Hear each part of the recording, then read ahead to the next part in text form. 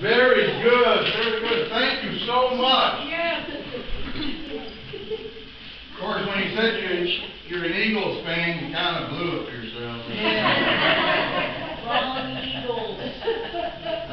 Eagles. Not Eagles. Eagles.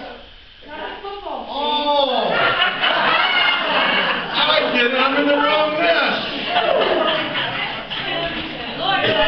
Eagles, that kind of eagle. Oh, You're thinking of football, but anyway. oh. All right. Who's your team in football? Who's your Trust me, team in he likes the football? Bills today.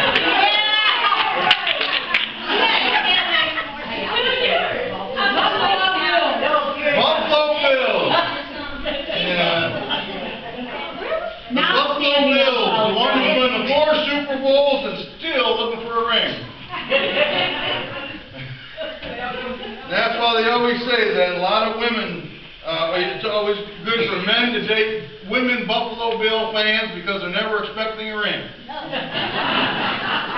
right. Yeah. So, but the Eagles, okay, I got it, you know, I'm over in left field. And, uh, but anyways, uh, turn to Romans, uh, fourteen, we're starting Romans fourteen, we're back in Romans again. Uh, and, and, uh, we're almost finishing up, we only got a few more chapters left, and, uh, it's been a, a wonderful journey through Romans. But today we're gonna talk about welcoming one another. And the Roman church had some issues, uh, especially when you have the, the Jewish population and then you got the Gentile population. And, you know, I mean, how many here uh, were raised other than Baptist? Okay? How many were raised, say Catholic? Okay? How many were raised uh, Pentecostal holiness? Okay? Now, there, there's a big, there's a variance in, in a lot of these, and you're going to see this is what happens when you, when you get a hodgepodge of, of uh, folk into, into a, a, an area here, and we like to keep hold of a lot of our things that were traditions and things that we're used to. Um, and this is what's happening here in Romans. Uh, we're going to take a look at Romans um, 15. Yeah, Romans 14. But let's go back from um, a few weeks ago before Easter. We talked about um, love fulfills the law. We finished up with Romans 13, 8 through 14. And, um, and I'm just going to hit on the highlights real quick, but we covered that the strength of the law is love. Remember we had the Ten Commandments, and we passed out the Ten Commandments. And if you look at the Ten Commandments, what are the first four talking to? About? Loving God. Loving God, right? Yes. And the last five is who? Loving others. Okay, that's why Jesus said that um, the greatest commandment is love the Lord thy God, right? And then the second is what? Love your neighbor as yourself. These two hang all the commandments. The first part is God, the second part is others. And that's what we talked about with um, the strength of the law is love. Love, love, love. Um, then we um, talked about, or the next point was time to wake up, uh, verses 11 through 13. Um, and the problem is that the church is in apathy. You know, we're, we're sleeping Christians. We're sleeping in the pews. We're snoring during the sermons. And uh, we're not, uh, you know, the problem with the church is apathy. What does the Webster's Dictionary define apathy is? Lack of emotion, motivation, lack of concern, indifference. The churches today have spiritual apathy. The church has become unresponsive to the things of God. We are high fast on raising money. But we are not so much on the things of God. The, the biblical studies, the digging into God's Word. You know, you'll have everybody here to eat. Hmm. But when it comes to Bible study, We're like the Marines, the few and the proud. We're there digging into the Word of God. We're diving deep with our snorkels on. Now, some people like to kind of surfboard it. Not us. We like to dig. We go down deep and deep to get grab the pearls of God's wisdom. And and but the churches have become so apathy in in in their uh, with the things of God. Um, and then it says, it says, cast out the works of darkness. And we talked about night. All right? And, and of course, you know, when, when we talk about, you know, this here was also going back to Revelation 12. We, we are what? Christians are living what? Sacrifices, right? Give our bodies as living sacrifices to God. All of ourselves to God. All right? And then um, uh, the cast off the works of darkness. We talked about man's depravity and, and, and darkness is what? Also Satan's what? Dominion, right? It's Satan's dominion. And we are to put on the armor of light, it says, going back to Ephesians uh, 6. Time to put on the Lord Jesus Christ was my last point, and because sanctification, what is sanctification? But it's our spiritual growth. We are being sanctified each day. We are to be more like Christ, right? In our walk, in our daily life, everything. We don't just say we're Christians, we act like it. We are ambassadors of Christ. If you're going to talk the talk, you need to walk the walk. Or you need, need to get off the highway. You got to walk the walk and talk the talk. You know, you, you, you, if you're a Christian. So sanctification is a spiritual process of growing and becoming more like Jesus. Paul uses the symbolism here of taking, putting on and taking off clothes. We put on the Lord Jesus Christ. Um, no provision is the basic meaning of planning ahead or forethought. Uh, most sinful behavior results from wrong ideas and lustful desires. Remember, I said before that the battle of sin is first lost in the mind. The battle with sin is first lost in the mind. Because, see, when we think about it, that's not sin till we go ahead and do it. All right? And Satan's always tempting you. He's pushing you. He's pushing you. He's pushing you. Yeah. But, so, this brings us up. I know my thing's loud because I had the music going on here. Hold on a minute. I'll just turn this off. Anybody hear me? Yep. I got a big mouth anyways, and with a mic, I'm dangerous. I don't want you all to even hear, needing hearing aids, you know? Um, but anyways, you know, and here we're coming to the point in Scripture where there's conflict. You're trying to say there's conflict in a church? Don't tell me! Man! I mean, I mean, you look through the, all the Scripture, there's always some kind of battle going on, isn't there? And there's fight. Why? Because of our sinful nature. If you look at the Old Testament, it records a civil war between the northern kingdom and the southern kingdom. And, and, and you have the family fights. Who committed the first murder? Cain. Right? He killed Abel. I mean, look at Jacob and Esau. They were at each other's throats. Even in the womb, they were trying to fight to see who came out first. Yeah. And so in the New Testament, um, we have the family of God. In every local church, there is a problem. If you go through the epistles and everything, Paul is dealing with a problem in the local churches. If you take a look at um, um, the, the church at Corinth, they were divided over human leadership, right? They were divided over human leadership, and they were also going to sue one another. They're going to sue one another. And then you go ahead and look at Galatia. They were, they were trying to kill each other and biting and devouring each other. And then you take a look at uh, Ephesians and Colossians, you know, um, it, it, it uh, had to be reminded of the importance of unity in the body. Yes. I mean, I mean, it was on and on and on, and I, I bet you Paul said, "Am I an apostle or am I a referee?" Right.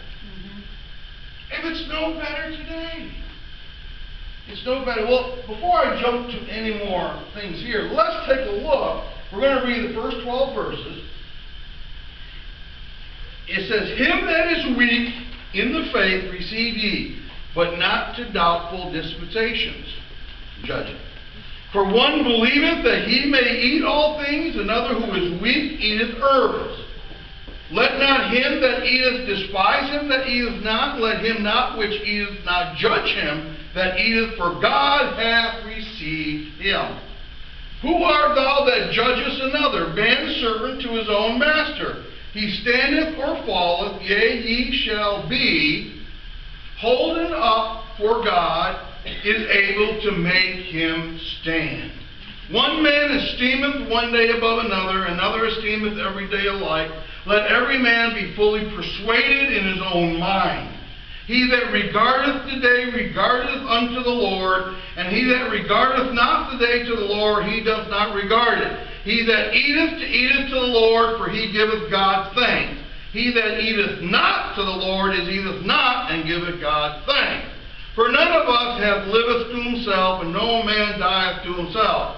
For whether we live, we live unto the Lord. Whether we die, we die unto the Lord. Whether we live, therefore, or die, we are the Lord's. For to this end Christ both died and rose and revived, that he might be Lord both of the dead and the living. But why dost thou judge thy brother? Or while thou judge, thou set not thy brother. For we shall all stand before the judgment seat of Christ. For it is written, As I live, saith the Lord, every knee shall bow to me, and every tongue shall confess to God. So that every one of us shall give account of himself to God. That's right.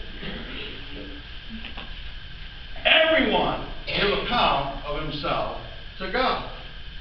And so we have these um, these uh, fights. Now you wonder why David wrote in when Psalms 133 1, where he says, "Behold, how good and pleasant it is for brother to dwell in unity." Huh? I mean, we have the Sunday night fights. Uh, some of the problems stem from the background of believers, and like we asked before, we have different backgrounds here at Yellow Branch. We have those who were raised Catholic, those who were raised Pentecostal, you know, different doctrines. All right, and a lot of times when we say you were raised, but then you get saved, you start going to a Baptist church, but then you start still holding you still want some things in the Baptist church that you, you had the Catholic church. And so, um, so the problem was here was the conflict of the conflict. Yeah, sound like Aflac. The conflict in Rome with, with the uh, stronger, which means mature saints, and then the weaker ones were the immature saints. And the immature saints were really your legalists. All right, the legalists. And so you had the mature saints who weren't in bondage to rules and regulations. They ate meat. They didn't worship certain days of the week. What, what day are we supposed to worship on? every day. Not just Sundays. Every day. Some people say, well, we don't work, we worship on Saturdays because Sunday was really named after the sun god. So Saturdays was named after Saturn.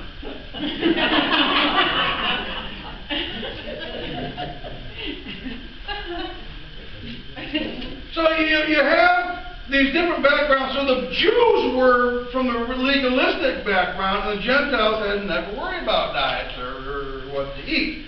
And so remember um, back in Acts 15, where the first church council met and had to decide over circumcision. Because the, the, the Judaizers were saying that you're not saved unless you get circumcised.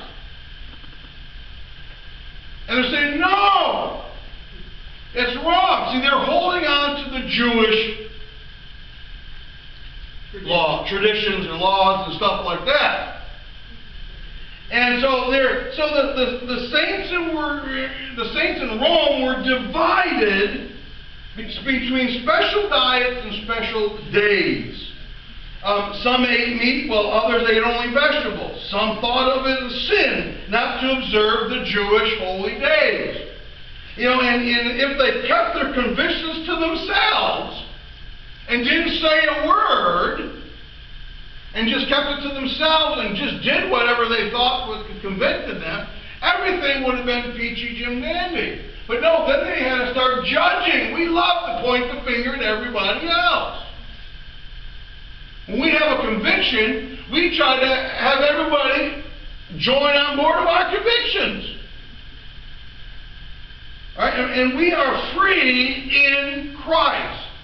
So let's see how the referee Paul deals with the situation here with one side, the Jews, and on the other side, the Gentiles.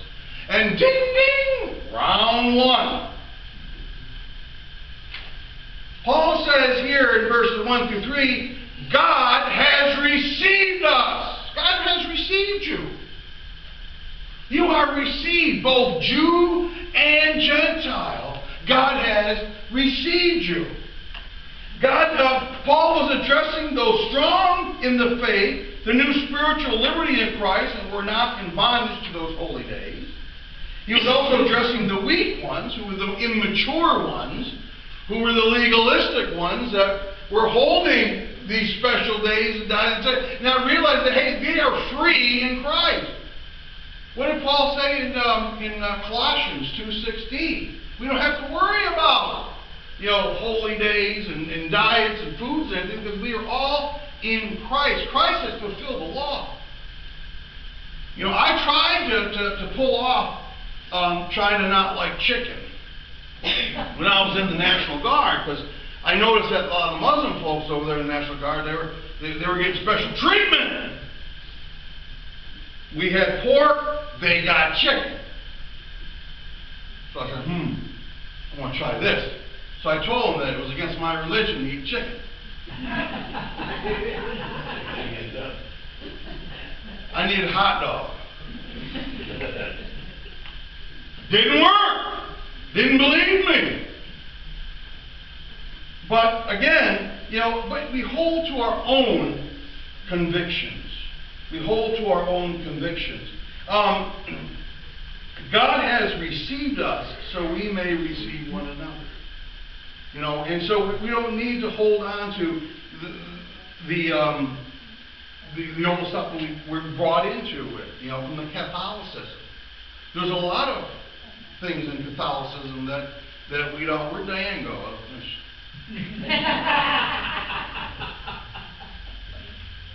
she went up early? Gee, I'm in trouble.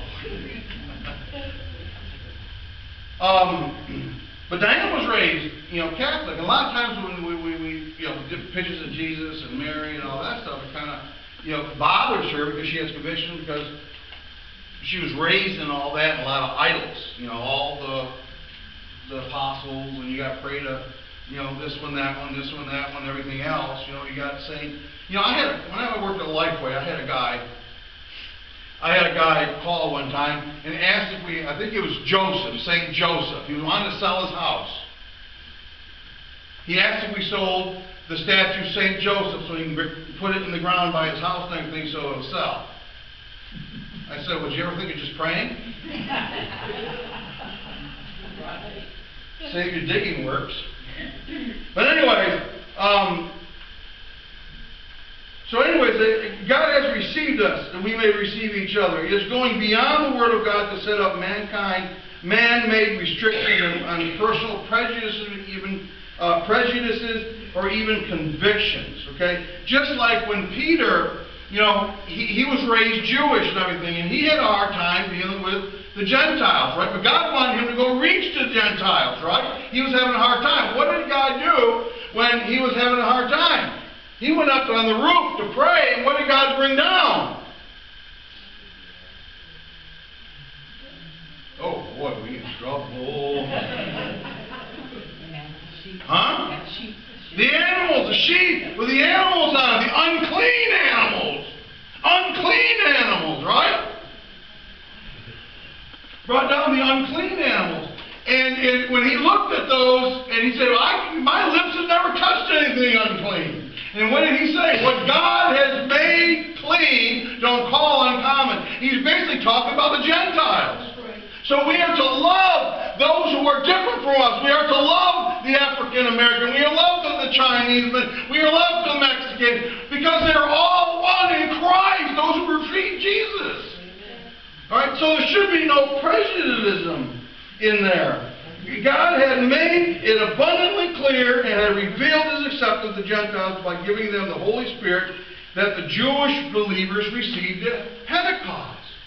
And so then he became um, you witnessing to the Jews. But then Peter also had a hard time because he would be eating over here with the Gentiles, but then when he saw, he got in trouble with the Jews because he remember when he was in Cornelius' house and, and witnessed to him and everything. Then the Jewish folks went to him and said, well, I heard you were in, in the house of a, you know, a, you know, a Gentile, eating with them. And he was getting, you know, yelled at and everything. And then one time he was one way with the Jews and time with the Gentiles. And what did and Paul jumped on, remember in Galatians? Paul jumped on him about that and corrected him on the way he treated the Gentiles. The next point, um, so God has received us, God will sustain us. God is able to make him stand. And we look at verse 4. Who art thou that judgest another man's servant? To his own master he standeth or falleth. Yea, ye shall be holding up, for God is able to make him stand. Our salvation isn't based on us. We might have our little convictions here and there, and what we should do and shouldn't do and stuff, but our salvation, we can't lose our salvation because it wasn't ours to begin with. You know, it's by the grace of God that we have it. All right, and so, um, and so God sustains us. He is able to make him stand. We did not earn our salvation; it's a gift. God is the master. We are the servants. Right? When Scripture's not clear, then we go with personal convictions. There's a lot of times Scripture isn't clear on certain areas. All right? And so we shouldn't put judgment on someone else because of our own convictions. All right? Some people like wearing suits to church. Get all fancied up, nice suits and everything like that. Some people can't afford it. Some people are too wide nowadays. but, you know, we have uh, and but but people would you know yell at the other person. They, well, come you don't wear a suit to church and everything? Well, you disrespect the sanctuary of God, and put their own convictions on someone else. And and this is where Paul is saying that if you have a conviction of not eating meat, don't eat it. But don't put your convictions on her or her. And that's the problem that's happening that these Jews were yelling at the ones who were mature Christians that were in freely. Now, some people really extend their freedom in Christ. You know what I'm saying? Really extend it. But they were free in Christ. But they were, and they were looking at these folks and saying, how come they're not observing these holy days? How come they're not eating kosher? How come they're not doing? How come they're not getting circumcised?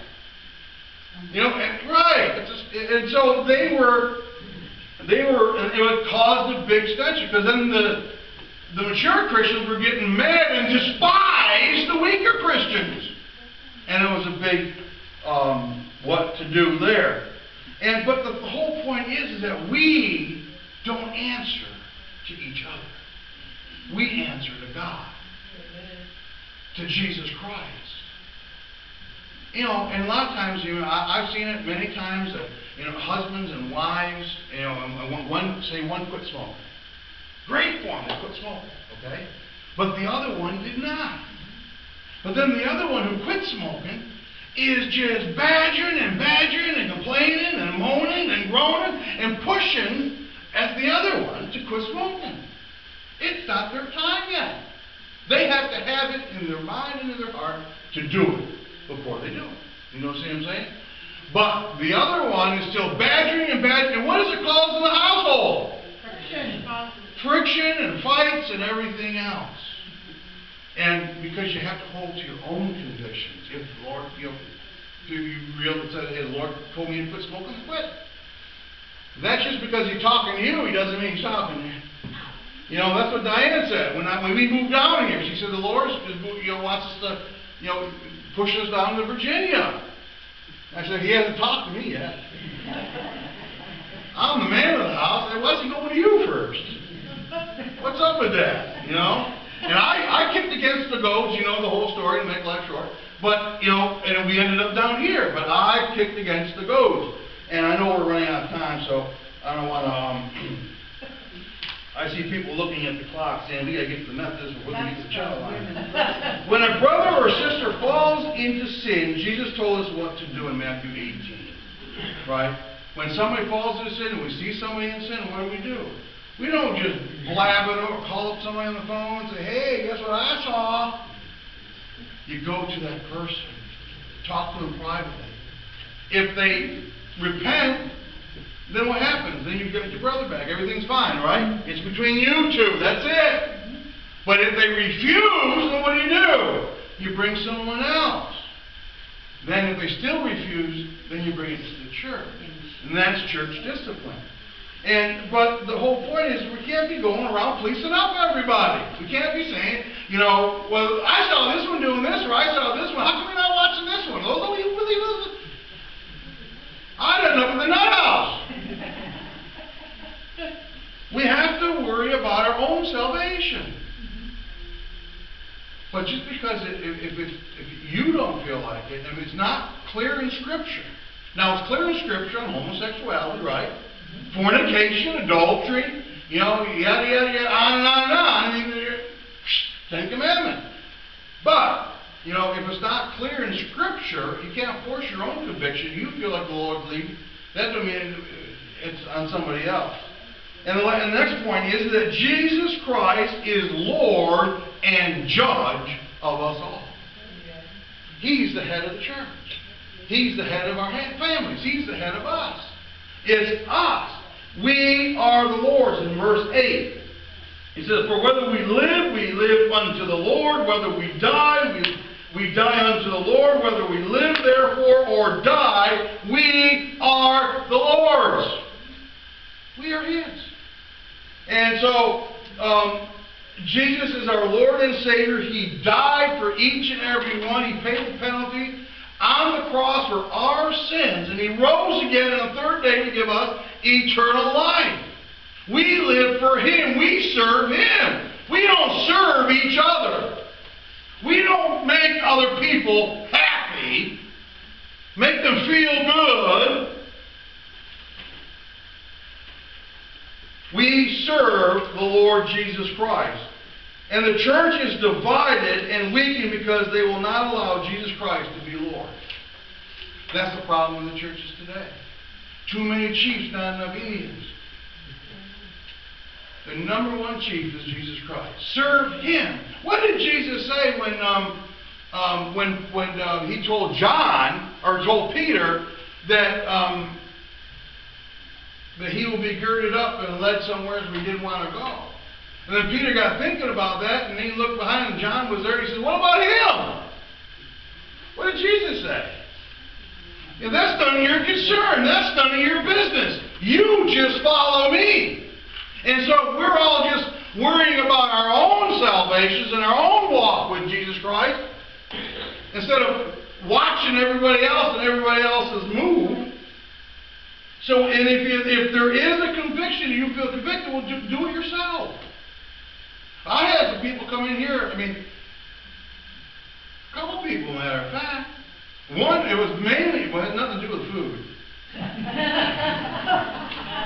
It was on the Sabbath. The Sabbath. Um, one, one guy was, was, uh, said we should be worshiping on Saturday instead of Sunday. We had that discussion. And the other guy said, well, you know, after church, I mean, you shouldn't mow, you shouldn't do anything on Sunday. He got mad because he saw, you know, my wife mowing on that Sunday. We came back after my dad's funeral and everything, came back to New York and everything. Nobody mowed the yard, so we had to get her stuff out from, you know, the trailer. We had to have the trailer back. And my wife was just mowing the first part of the lawn. Boy, he had a fit. She was mowing on Sunday. That was sacrilege. It was terrible.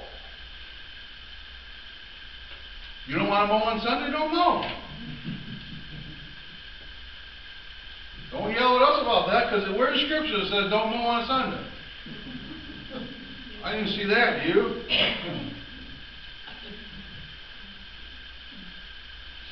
The strong and weak Christians one day must stand before the judgment seat of Christ.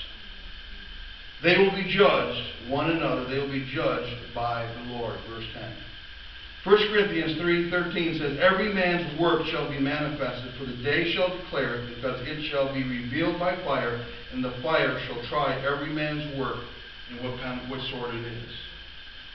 And the, and the next um, scripture, 2 Corinthians 5.10 um, 10 says, excuse me, for we must all appear before the judgment seat of Christ, that everyone must may receive the things done in his body according to that he hath done, whether it be good or bad. We're going to be judged by the Lord.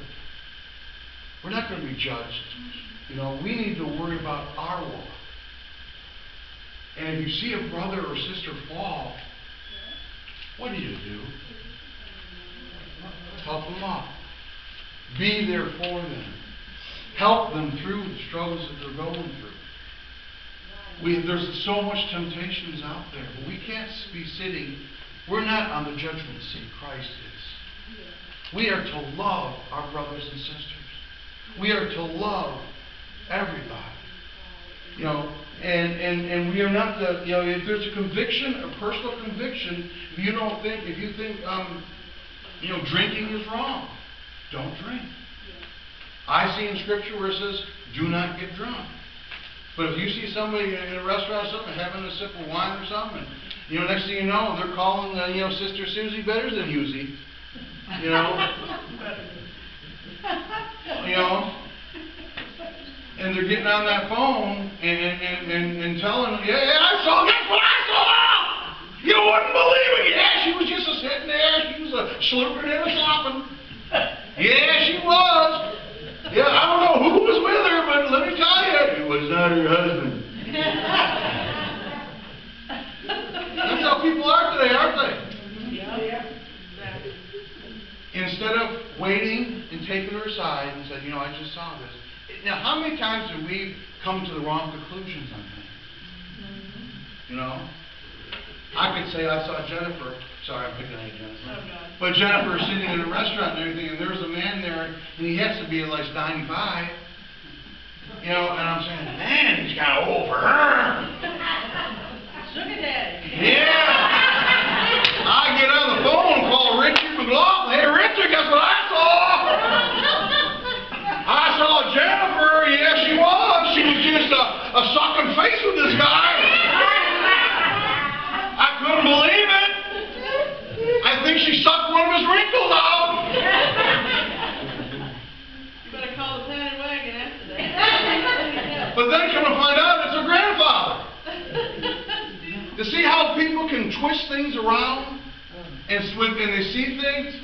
You know, I've had it before where somebody called me, hey, I saw somebody coming out of the ABC store. I said, what was he doing? Getting some alphabet? Took me a while to figure out what an ABC store was. And he says, no, she was carrying some, um, it looked like some whiskey or something in a brown paper bag. I said, well, how do you know it's for her? I don't know, but, you know, she shouldn't be doing that. She's a Christian. You know, and, and see how I'm saying that people come to this conclusion. You wouldn't believe the phone call sometimes I get. And I gotta set them straight. You know, and this is the whole point what Paul is dealing with here. All right? And if, if we are going to be judged by God, if you don't think it's, you know, have a drink or two, you know, it's, it, it, you know, in Scripture says, do not get drunk. You know, Paul told Timothy to take some wine. And I love a lot of people that they, they, they, they try to say, well, that's unfermented wine. Why would you just drink green grape juice? Why don't you say grape juice? You know, it's fermented. And it, it, because alcohol has medicinal purposes. And I love it to the ones that say you shouldn't drink. But boy, when they get sick, they're drinking up that cough syrup. What does that cough syrup have in it? Uh-huh.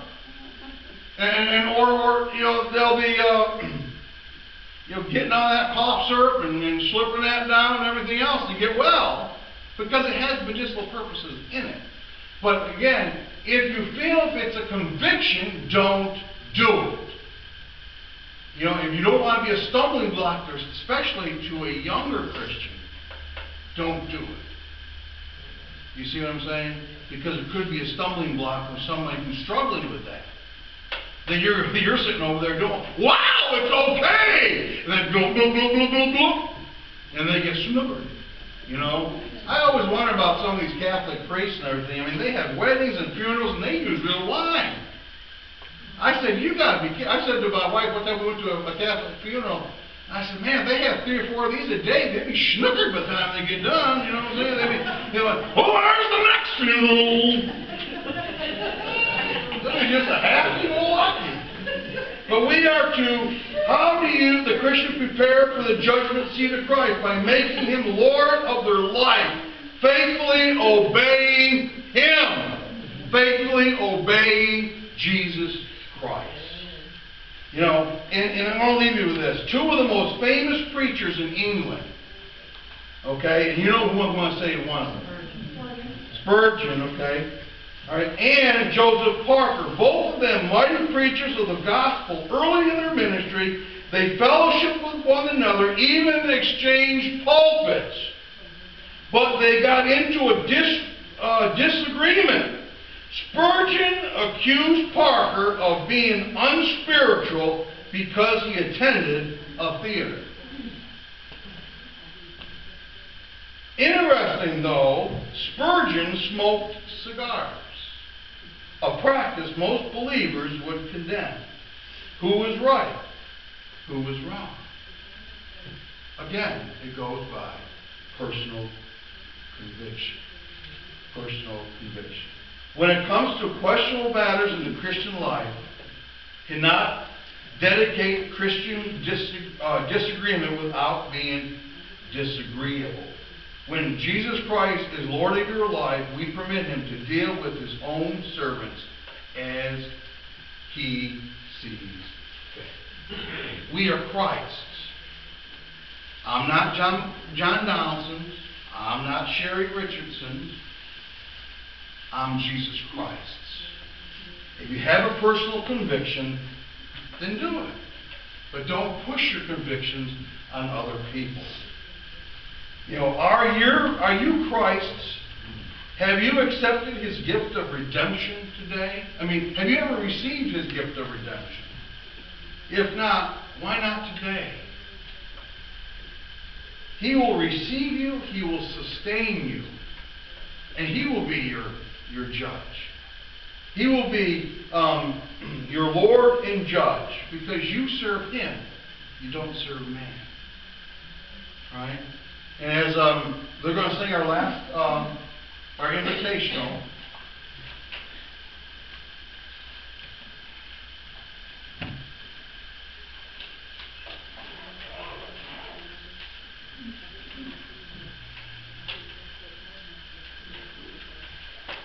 Let us pray. Heavenly Father, we thank you for your today. Lord, as we see what Paul was dealing with with the Roman church and the dissensions that was going on between the, uh, the, the, the stronger and the weaker Christians. And Lord, we have that today. We have people that are just so judgmental and they, they put their other convictions on other people. And Lord, we just um, pray, Father, that we, we, we know that we just serve Jesus Christ. We are free from the bondage, you know, and we're free, Father, from the bondage of sin. We're free, Father, from the, the bondage of legalism and being held down because we are free in Christ. And Lord, Lord, we just thank you so much for your word today, Father. And help us, Father, to serve you. And Lord, that we, we only answer to you. Instead of worrying about our brother and sister and what they're doing, we need to worry about what we're doing and just follow you. The same advice you gave to, to Peter. As we uplift your name today, in Jesus Christ our Lord. Amen.